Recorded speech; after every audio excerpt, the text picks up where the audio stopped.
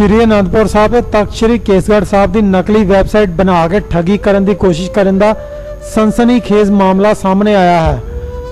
ਦਰਅਸਲ ਤਖਤ ਸ਼੍ਰੀ ਕੇਸਗੜ੍ਹ ਸਾਹਿਬ ਦੇ ਮੈਨੇਜਰ ਰੇਸ਼ਮ ਸਿੰਘ ਨੇ ਦੱਸਿਆ ਕਿ ਮੁਰਾਦਾਬਾਦ ਤੋਂ ਕੁਝ ਲੋਕ ਇੱਥੇ ਆਏ ਸਨ ਅਤੇ ਉਹਨਾਂ ਨੇ ਰਿਹਾਇਸ਼ ਲਈ ਕਮਰਿਆਂ ਦੀ ਮੰਗ ਕੀਤੀ। ਉਹਨਾਂ ਕਿਹਾ ਕਿ ਉਹਨਾਂ ਵੱਲੋਂ ਇੱਥੇ ਕਮਰਿਆਂ ਦੀ ਬੁਕਿੰਗ ਵੈਬਸਾਈਟ ਤੇ ਦਿੱਤੇ ਨੰਬਰ ਤੇ ਕਰਵਾਈ ਗਈ ਹੈ।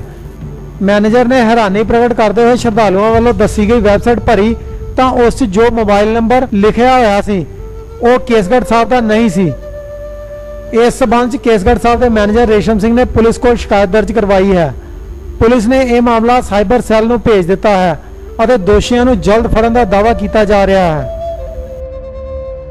ਮਰਾਦਾਬਾਦ ਤੋਂ ਸੰਗਤ ਆਈ ਸੀ ਤੇ ਉਹਨਾਂ ਨੇ ਆਣ ਕੇ ਇੱਥੇ ਜਦੋਂ ਸਾਡੇ ਕੋਲੋਂ ਸਰਾਂ ਦੇ ਵਿੱਚ ਪ੍ਰਬੰਧਕਾਂ ਤੋਂ ਕਮਰੇ ਮੰਗੇ ਤੇ ਉਹਨਾਂ ਨੇ ਸਾਨੂੰ ਦੱਸਿਆ ਵੀ ਅਸੀਂ ਉਹ ਕਮਰੇ ਬੁੱਕ ਕਰਵਾਏ ਹੋਏ ਨੇ। ਪਰੰਤੂ ਉਹਨਾਂ ਦਾ ਇੱਥੇ ਕੋਈ ਕਮਰਾ ਬੁੱਕ ਨਹੀਂ ਸੀਗਾ। ਉਹਨਾਂ ਤੋਂ ਅਸੀਂ ਪੁੱਛ ਪੜਤਾਲ ਕੀਤੀ ਵੀ ਤੁਸੀਂ ਕਿੱਥੇ ਬੁੱਕ ਕਰਾਏ ਔਰ ਕਿਹਨੂੰ ਬੁੱਕ ਕਰਾਏ ਉਹਨਾਂ ਨੇ ਤਖਤ ਸਾਹਿਬ ਦੀ ਕੋਈ ਵੈਬਸਾਈਟ ਕੱਢੀ ਤੇ ਉਹਦੇ ਉੱਤੇ ਨੰਬਰ ਵੇਖਿਆ। ਜਦੋਂ ਅਸੀਂ ਵੇਖਿਆ ਤਾਂ ਉਹ ਤਖਤ ਸਾਹਿਬ ਦਾ ਨੰਬਰ ਹੀ ਨਹੀਂ ਸੀ ਔਰ ਨਾ ਹੀ ਤਖਤ ਸਾਹਿਬ ਦੀ ਵੈਬਸਾਈਟ ਸੀਗੀ। ਫਿਰ ਉਸ ਸੰਬੰਧੀ ਅਸੀਂ ਪੁੱਛ ਪੜਤਾਲ ਕੀਤੀ, ਫਿਰ ਅਸੀਂ ਵੀ ਖੋਲ ਕੇ ਵੇਖੀ, ਉਹ ਨੰਬਰ ਕੋਈ ਪ੍ਰਾਈਵੇਟ ਸੀਗਾ, ਨਾ ਕੋਈ ਇੱਥੋਂ ਮੁਲਾਜ਼ਮ ਦਾ ਸੀਗਾ ਔਰ ਨਾ ਹੀ ਕੋਈ ਤਖਤ ਸਾਹਿਬ ਦਾ ਸੀਗਾ। ਜਦੋਂ ਇਸ ਸੰਬੰਧੀ ਅਸੀਂ ਸਾਰੀ ਪੁੱਛ ਪੜਤਾਲ ਕੀਤੀ ਤੇ ਉਹ ਪਤਾ ਲੱਗਾ ਵੀ ਇਹ ਨੰਬਰ ਕੋਈ ਪ੍ਰਾਈਵੇਟ ਹੈ।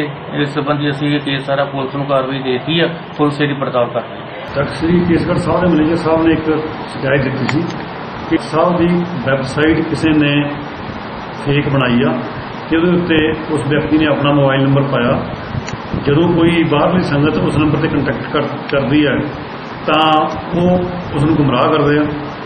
ਜਿਹੜੀ ਉਹ ਸ਼ਿਕਾਇਤ ਆ ਸਾਈਬਰ ਕ੍ਰਾਈਮ ਨਾਲ ਸੰਬੰਧਿਤ ਹੋਣ ਕਰਕੇ ਅਸੀਂ ਸਾਈਬਰ ਕ੍ਰਾਈਮ ਸੈੱਲ ਨੂੰ ਫਾਰਵਰਡ ਕੀਤੀ ਆ।